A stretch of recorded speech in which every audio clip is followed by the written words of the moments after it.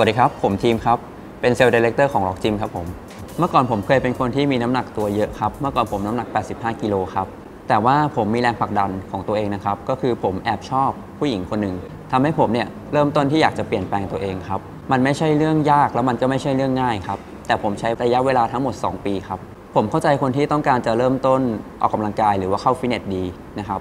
ว่าเขาเนี่ยจะมีมุมมองยังไง หรือว่าเขาเนี่ยควรจะ มีความรู้ในการออกกำลังกายยังไงนะครับที่จะทำให้เขาเนี่ยประคับประคองตัวเอง ไม่ใช่มาแค่ลู่วิ่งนะครับไม่ใช่มาแค่ยกเหล็กอย่างเดียว จะทำยังไงให้เขาเกิดความสนุกสนานในการออกกำลังกายด้วยครับ ผมอยากส่งต่อมุมมองครับแล้วก็การออกกำลังกายเบื้องต้นนะครับที่จะทำยังไงให้คนที่ต้องการเริ่มต้นเล่นฟิตเนสทุกคนนะครับไม่รู้สึกว่าฟิตเนสหรือว่าการออกกำลังกายเป็นสิ่งที่น่าเบื่อทำยังไงให้ลูกค้าของเราทุกคน ไม่รู้สึกว่าการมาฟิตเนสมันน่าอึดอัด ของเราที่นี่นะครับ Rock Gym เนี่ยมีทีมงานนะครับที่คอย support คุณ ไม่ว่าจะเป็นในส่วนของการออกกำลังกายเบื้องต้น หรือว่าการให้ความรู้นะครับในส่วนของโภชนาการนะครับที่นี่เรามีทีมงานพร้อมครับ concept ของ Rock Gym ฟิตเนสของเรานะครับคือที่เนี้ยเราเป็น comfort ฟิตเนสนะครับเป็นฟิตเนสที่ให้ความสบายใจกับลูกค้าแบบ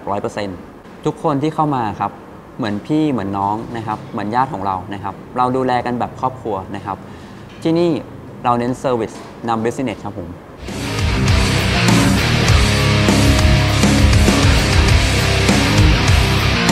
broken